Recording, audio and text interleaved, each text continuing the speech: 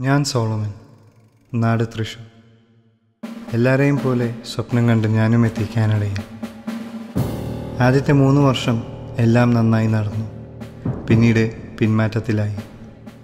ആദ്യമൊരു സങ്കടം വരും പിന്നെ അത് ദേഷ്യമായി മാറും. എല്ലാത്തിനോടും ദേഷ്യം വെറുപ്പ് ദൈവത്തോട് പ്രത്യേകിച്ച്. അപ്പോൾ നമ്മൾ റെവലേഴ്സായി മാറും. ഇത്രയും നാൾ വിശ്വസിച്ച വിശ്വാസവും പ്രാർത്ഥനയും കാറ്റിൽ പറത്ത് ജീവിക്കാൻ തുടങ്ങും.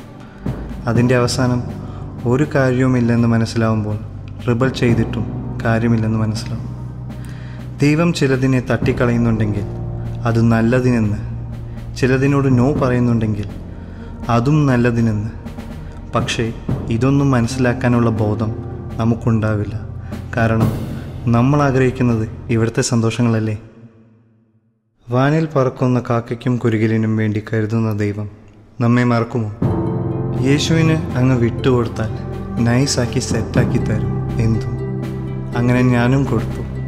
ഇപ്പോൾ സെറ്റാ. തിരിഞ്ഞു നോക്കുമ്പോൾ ചിരിയ വരുന്നത്. ഇത് ഞാൻ എങ്ങനെ മറികടന്നു എന്ന് നോക്കുമ്പോൾ കടുമുണിയോളം വിശ്വസിച്ചു മലയോളം കണ്ടു. ഇത് എന്റെ ലൈഫ്. വീണെടുത്തു നിന്നും ഒരു കൈ പിടിച്ചു കയറിയവന്റെ കഥ. ഇത്രമാം സ്നേഹം ഉയിർ കൊടുത്തെനിക്കായി മന്നവ എഴുതല്ല എനിക്ക് തേടി വന്നു ദോഷിയാമെന്നെയും എന്നെയും നാഥ തേടി വന്നു ദോഷിയാമെൻ